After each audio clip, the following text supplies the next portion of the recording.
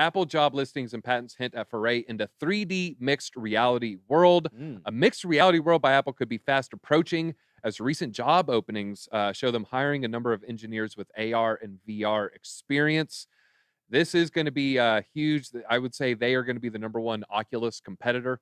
Uh, those who don't know, Meta has a deal with uh, was it uh, Oakley, I believe. Hmm. Um, all right, so we don't have this. I just gonna briefly look at this. So since November first, over 30 jobs, 30 different jobs have been listed on the careers page, um, and this is while tech is having a, a slowdown of hiring. So that means that they're expanding this uh, during this time, and uh, mostly going to be based in its uh, technology de- uh, development group, uh, secretive team uh, that stems back as far as 2017 and they're understood to be working on AR and VR technology. They've not confirmed that a device is in the works, although it's widely considered an open secret.